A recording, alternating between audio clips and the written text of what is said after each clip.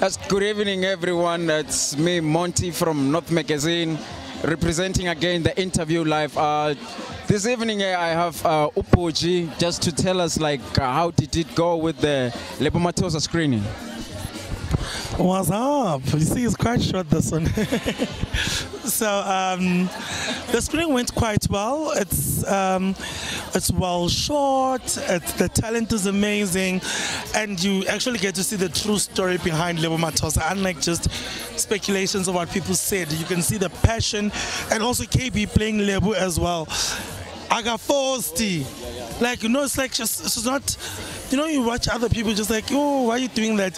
She is telling the story the way it's supposed to be told. She's not trying too hard to be KB playing Lebo, she's playing Lebo. So when we go to the side of uh, the promoters and stuff like do you think like the truth has been told, like ama royalties and stuff like that? Is it how it was or beobarba ropa? Nothing much has changed. The story is quite honest. The same thing is still happening even today. So nothing much has changed for me. And we need to start fighting it. You know, it's still the same thing. Whereby they say, give us one hot album, then you can control the rest.